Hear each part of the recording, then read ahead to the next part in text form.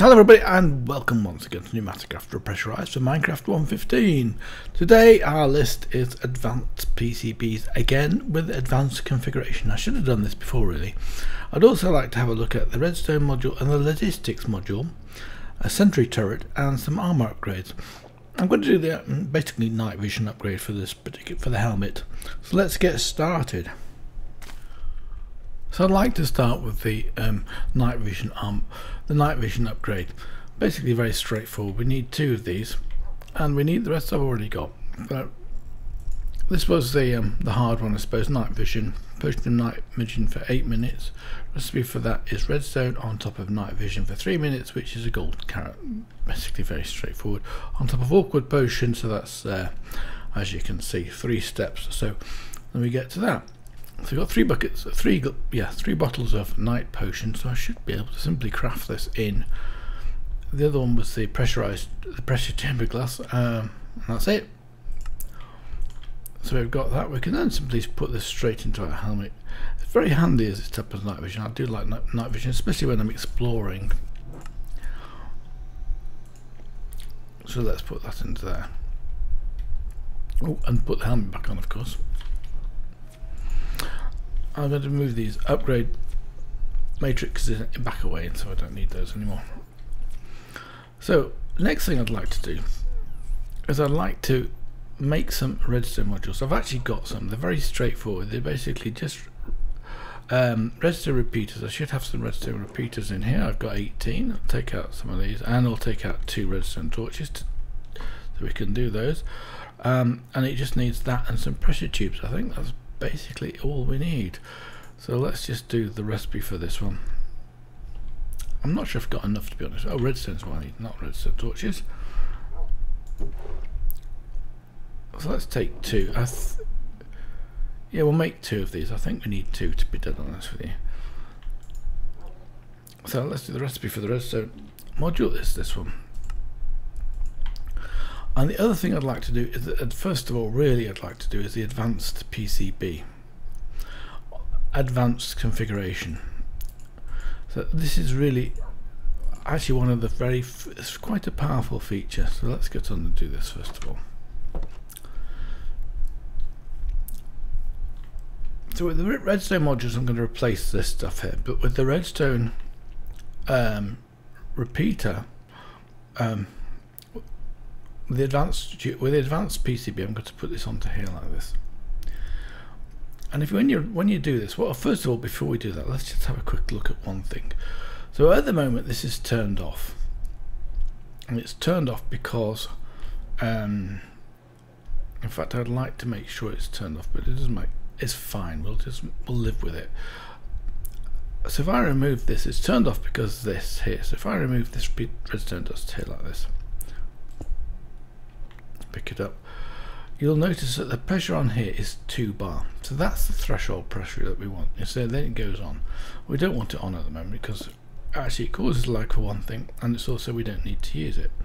And these this bit here we can simplify enormously. So let's do which one shall we do first? We'll do this one first here like this. So I need 2 bar so I'm going to remove this redstone from here because we don't need it that got picked up by the smart chest um, this one I think.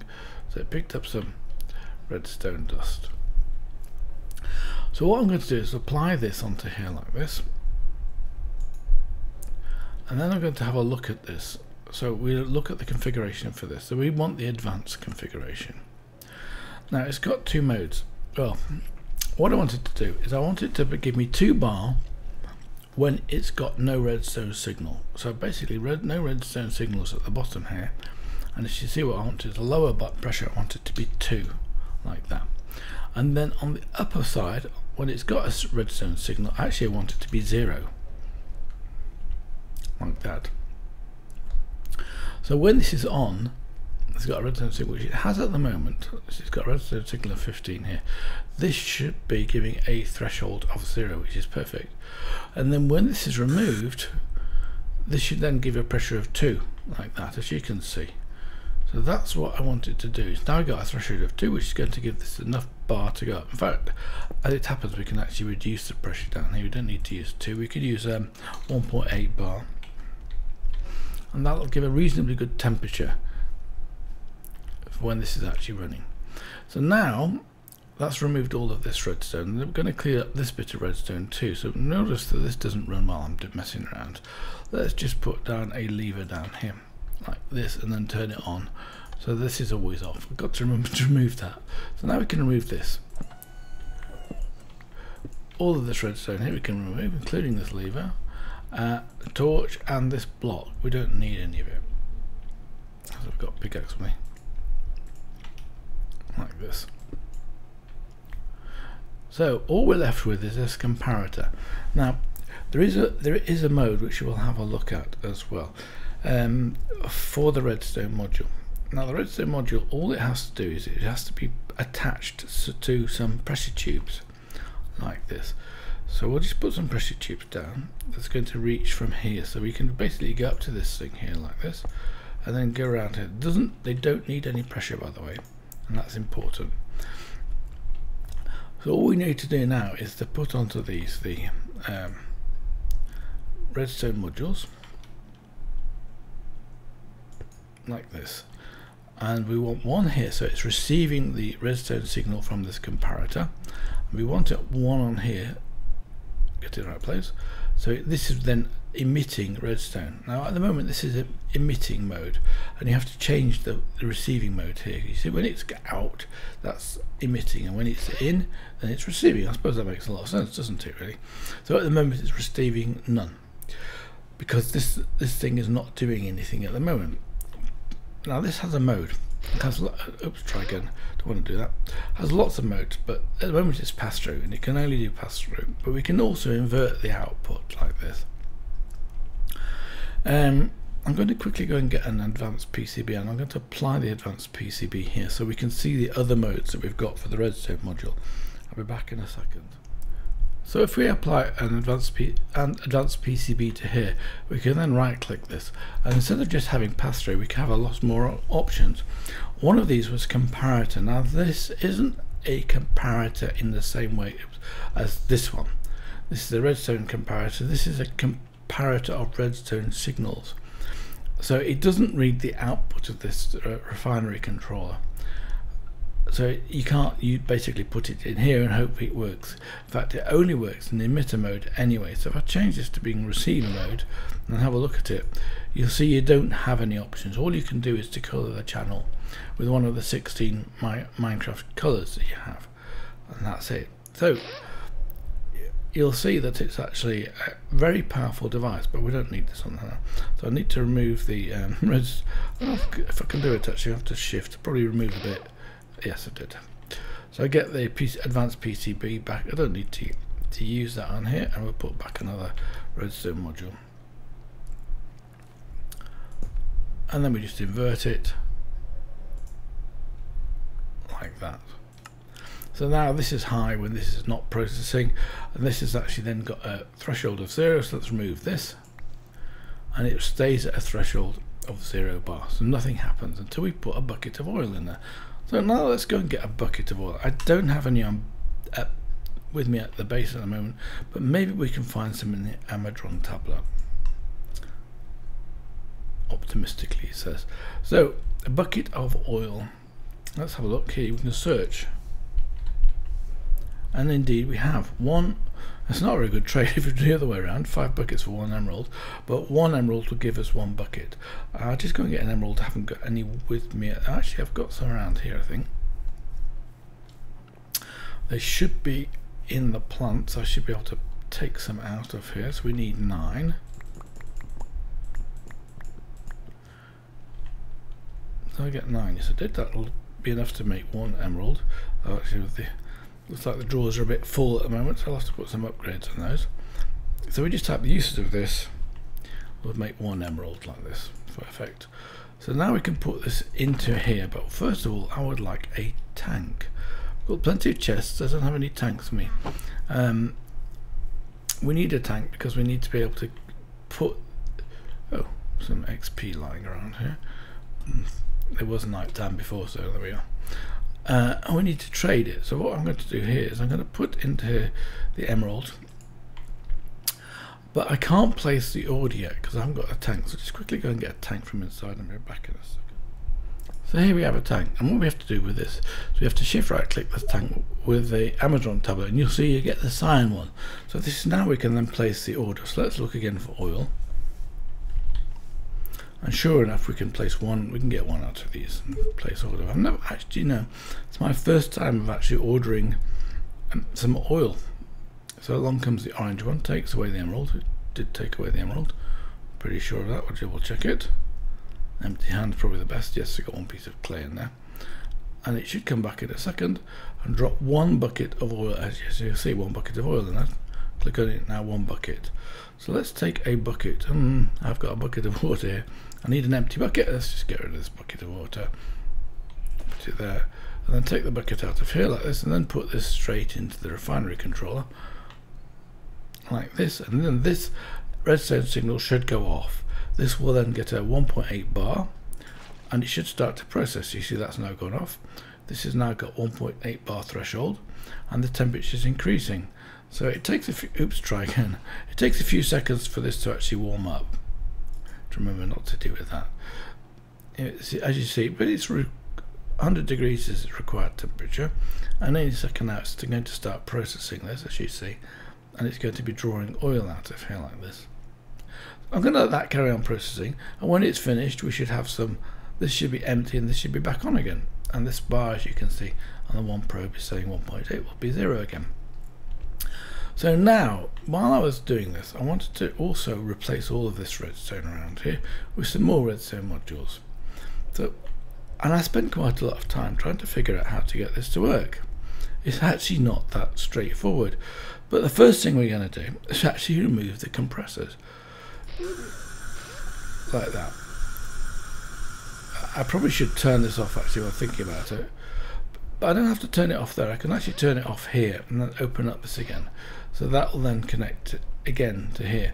This, These are actually all connected around and to here, so that's losing that pressure from there.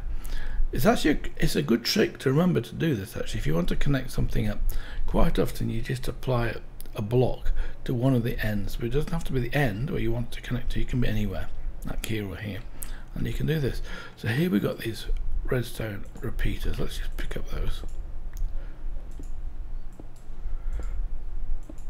like that and you see they've disappeared into this chest as the, the smart chest taking the redstone away and it also took the uh, liquid compressor and the logistics frame in fact, can I put these two logistics frames together? Sometimes you can and sometimes you can't. If you can't, then they're different. If they're identical, then you can. Anyway, so what I want to do now is I would like to put down some more tubing here. And again, this is not going to be pressured. So we want to start here. We want to go round. this is where the, the tank, um, the compressors will be. And then we can go around here like this and here.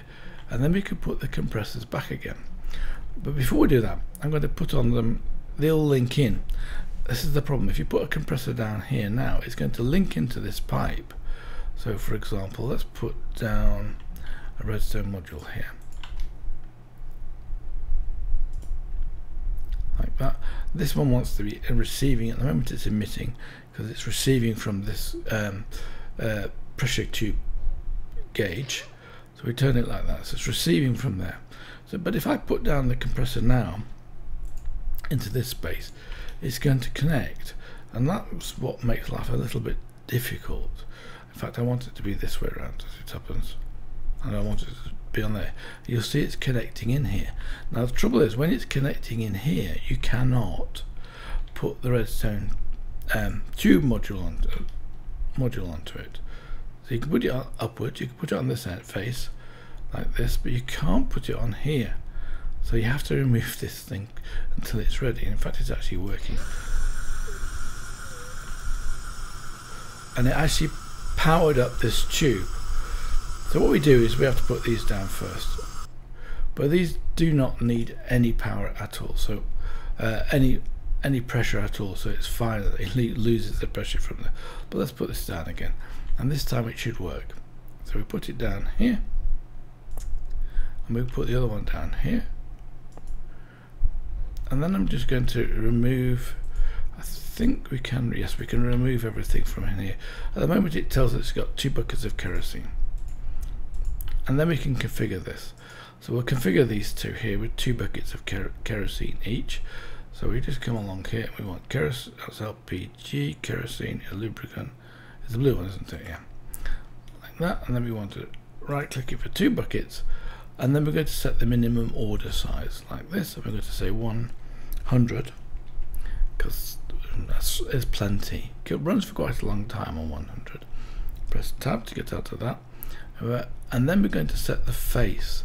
So the way we do that is actually the easiest way is just stand on it and put it down on here like this.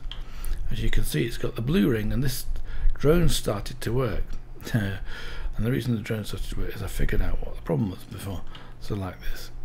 So these are cooking up and nicely and you'll see the pressure's going up here 3.89 bar which is and this pressure in here is doesn't change it's zero and then as soon as this turns on when it reaches what was the pressure it has to reach 4.9 bar it will stop. It'll emit a redstone signal. By now of course this one has gone as processed all the oil in here as you can see. This has come on and then this is zero exactly what we want. Perfect. And this one should take a few more seconds and come on itself. So that's the pressure up to now. Let's have a look can't see from that it's just a drone. 4.17 bar. We'll just leave this for a few seconds and while I'm doing that I need to make the next thing.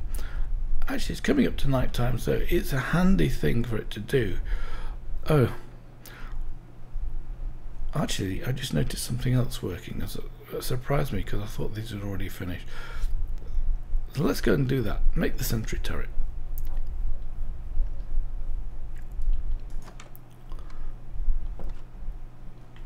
now the sentry turrets are actually really good.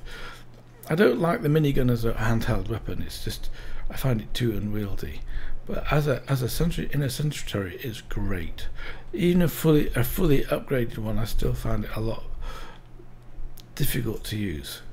Let's put it in here take out all of the upgrades in here. And there are a lot of them. I, I don't plan to use it.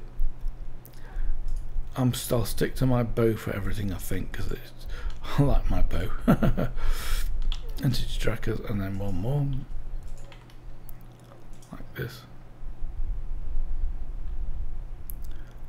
And then I want to remove I think I need to remove the pressure I'm not 100% sure. Since we built these already uh, oh yes I do need to take the ammo out don't I?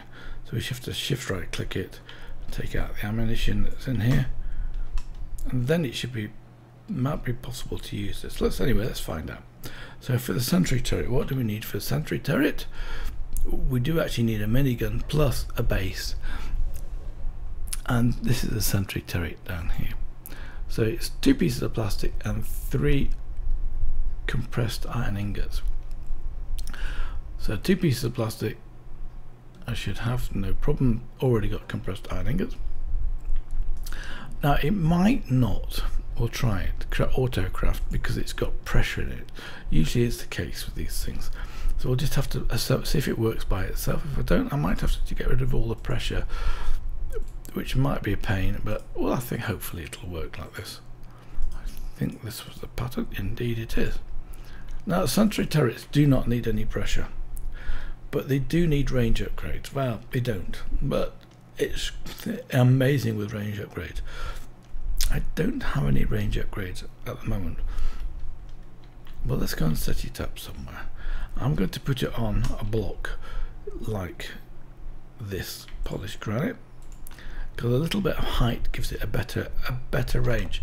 The the only mob I've found that actually does it doesn't work very well with these is the creeper. They can blow them up, but zombie pigmen, pigmen, um, zombies are great. They will quite happily grind them, no problem whatsoever. Let's put it down like this. Now it needs some ammunition in because it's got none at the moment. So I'll put some ammunition and then it goes green as you can see it's, it's ready to fire and it's and it's got a filter. Now the filters are very powerful. I'm just wondering if I can see the target filters. The manual has them definitely, and the upgrades which are possible is are just range upgrades. Range upgrades are very straightforward. Let's go and make a range range upgrade, and you can see what I'm talking about. Fact, let's have a look at this. I've forgotten which which which chest has got the if it's a smart chest or the other one that's got the thing in it. Yes, it's the it's the other one. Good. I can use take the smart chest too like this, and I can put this smart chest around about here like this, and then we should be able. To, I think that's smart chest with it with the upgrades in it. Indeed, it is. I don't need the dispenser upgrade in it because I'm not going to push, and it, but it does need some range upgrades. So that'll then pick up any mob drops that are near to that. Well, if you don't want mod drop mod drops, but uh, the range of that's pretty decent anyway. So let's have a look at range upgrades again. Very straightforward.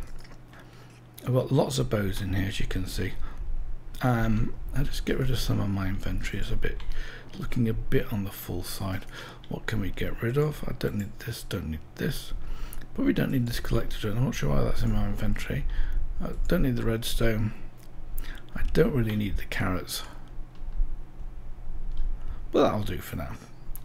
So in here I should have some arrows. In here I should have some upgrade matrices, which are fantastic, or lapis, which doesn't really matter at all. And then we'll get some bows out. So at the moment I can just do, I can basically fill up my inventory with bows, don't want that one. I'm going to use these broken ones, they're, they're fine. It doesn't matter if they're damaged at all. So now, if we go for the uses of these, you'll see it comes in here. So we can shift click that into there and that doesn't only puts in one because the bows are only don't stack. So if you just bring this around here like that, we've got 14 of those. Can do the same with the arrows. Like that we get 16. For some reason I got two extra. And then we can just shift these out and put them in again like that. And then you'll get your upgrades fairly quickly. and the rest of those I'll just leave like that and they'll be in my inventory as you'll as you'll remember so let's go and put these range upgrades into here being night time it's a very good time to demonstrate the, the sentry turret of course so shift click those into that and any mobs there's a spider over there for instance um, I think it just shot the spider. I think the spider went went down a little bit. Bring the spider nearer.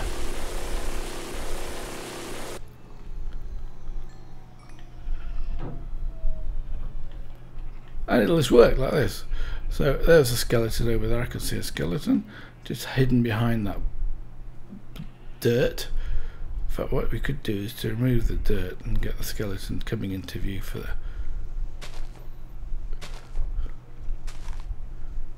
Yep, there you go. Shoots me. Let's get out of the way. Let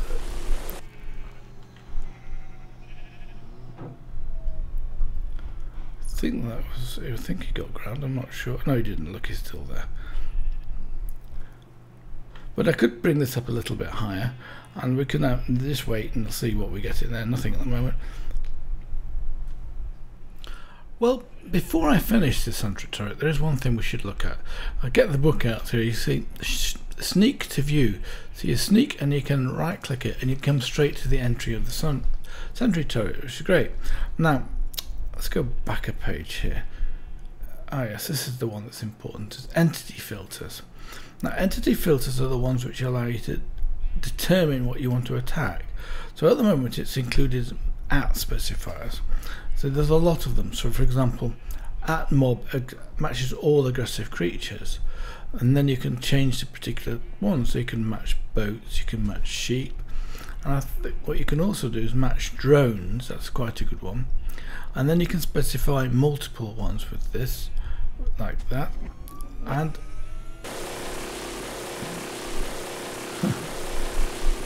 bit loud. I did actually increase some. I did. I did put some more range upgrades in this while I was waiting between for this time. But we could, I think there's also a way to specify whether you can exclude something. Let's have a look. I'm not sure whether you can, for example, exclude something with a minus, but they are case insensitive. A semicolon is basically multiple matches. Um, no, I don't see anything in there to say that one. Back go back again. I'm sort of messing around with my indexes a bit here. Entity filters is one we want. And you can press F1 and you can specify whether it's animals, adults and babies, which is great. In fact, that's it. I can't see any more as it happens. Um, I was hoping to be able to say all mobs except for, for example, phantoms, where I want to kill them and with my uh, uh, looting sword or whatever. So that was that. So now I think we're going to. I should have in here some pressure tubes. I've got enough. I think 64 plus 16. It's running, as you can see, running standby. It's actually not got quite enough air. Now the way to solve the air problem is to use advanced tubes, pressure tubes like these. They actually take um, so the stronger version of the tissue tube and can be camouflaged, yes. But they also absorb more air, so you need more air to, to get these running. But they are also have longer ranges. So what I'm going to do now is I'm going to set up the logistics module. I haven't done the logistics module so far, but what we're going to do is we're going to run the logistics module down through here and pass the um, pressure compressor here, the advanced compressor, and go and pick up the items from the from the um, essence farm. So the inferium essence here will be picked up out of this chest and be brought. It'll be actually from here, and I'll have to take it up from one of these plants. And all of this stuff will disappear out of here and be brought back to base and just leave the whatever it can't process, which at the moment is seeds. So I'm just going to set up quickly the um, the tubing or the piping and I'll see you in a few seconds. Right, we need some logistics modules. Logistics modules are these here. Very straightforward, we just need two logistic cores with four redstone and two pipes, so it's not a big deal. We can make craft two of those, no problem whatsoever. So let's get those into place. I've placed the pipes as you can see. Uh, in fact, I'd like this drone to move out of the way and I can put this dirt down. Maybe I can put the dirt down here now already. Anyway, good, yes I can. So here I would want to put one of these modules, but I want to put it on the top here. Now again, this is difficult because this is in the way. Same thing, same solution as before, just break it like that.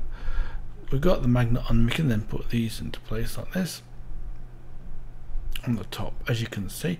And it has two little red dots just here as you can and that basically means it's not working because it's not got enough pressure. So let's put the drawer controller back again and put onto this of course the logistics default storage frame. And you'll see this is in the right place. You see this is actually moved and we can camouflage this block. I'll do that later on. I don't need to do that now. So that's one end and the other end is over here I drag the pipe, as you can see, I drag the pipe all the way down through here, like this, and it's coming up here, but it's actually right down. It's actually below the water. And here I've actually started to fill it in again. Let me just finish filling it in. Um, this was just one of the points, and this was the point that was taking me straight to here, like this. And I've got, um, I'm missing a few bits of pipe it. We can soon fix that, I think. I hope. If not, I have to um, break this piece. Yes, and then I can possibly go down here like this. I have to be a bit careful because it's water based. There we go. So we can then come out of this like that, and then we can put one up here so we can get the the module onto this. So there's no problem getting the module onto this, as you can see, it's straightforward and again we get the red pressure. So first thing we need to do now is to connect it to the pressure chamber um, compressor here. So let's just connect it in one more piece and it should just connect straight up like that. And then this starts to get bar as you can see but the but the pressure drops down And the reason the pressure is dropping down is because the pipes themselves take a reasonable amount of pressure. So we have to leave this for a few seconds for it to actually start to increase pressure again. So we'll leave that. While we're doing that, let's go and get the... I can fill this in as well, of course. But what I want to do is to go and get the um, the requester frame, the provider frame. So I need an active provider frame in order to to cope with this one. I think I've got one of those available. If not, we have to make one up. Yes, I've got the last one here. You can't use a standard uh, provider frame. You have to use an active provider frame because it's a storage module. So all we need to do now is put this on and it doesn't matter which direction this in. So let's have a look at this now. I've got dirt, take the dirt out. You'll see we've got one stack of seeds and a few quite a few inferium essence, another stack of seeds and then 38 and 27 left over. So let's just put the frame on like this. It's still not got enough pressure because it tells you here it needs 3 bar. So while that's doing that, let's just put this on here like this. To shift click it on, of course. That's the right one. Where's it gone to? Oh, I've got him out, have I? and I'll put it in the chest. Try again.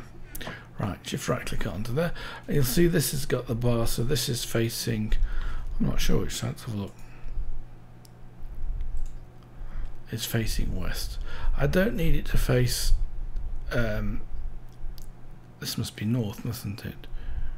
In fact, I don't need it to face north because it doesn't matter with the rest redstone modules, you can do it like this. So, this should have soon be building up pressure. Let's have a quick look at this. Now, I'm standing on that, it's not a good idea. Um, 4 bar, 4.9 bar, it still hasn't gone up to pressure yet. Let's have a look at these. Let's have a look at these ones in here. They're probably easier to see. 2.5 bar in here. So we'll have to wait a few more seconds and when this gets up to 3 bar it's actually going up reasonably fast. These corners should turn green. Wait a second I'll see in a second when it's up there.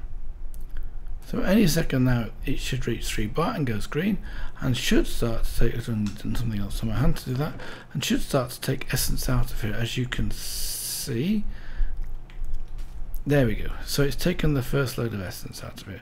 It hasn't taken any seeds out because there's no place for seeds to go. Uh, there's a zombie. I'm just going to close the gate. I don't want him to get into there. And I can run over here quickly and let the drone sort him out. Like that. So all I need to do now is to put some one seed into here, for example and then it'll feed into here the rest of those seeds from there it'll also feed in from this chest. Anyway the drone will come along and take the stuff. And you can see we've got 300 seeds already in here. And they're probably becoming and you see it goes blue and when it goes blue that means it's actually doing a transfer. So for long distances advanced pressure pipes and pressure tubes are much better. So there we are. So that's it for this episode. I do hope you've enjoyed it covered quite a bit actually. We can see the sentry turret in the top right hand side, the advanced um, PCB on the on the on the regulator valve, and of course the redstone modules. So until next time, I wish you all the best. Bye for now.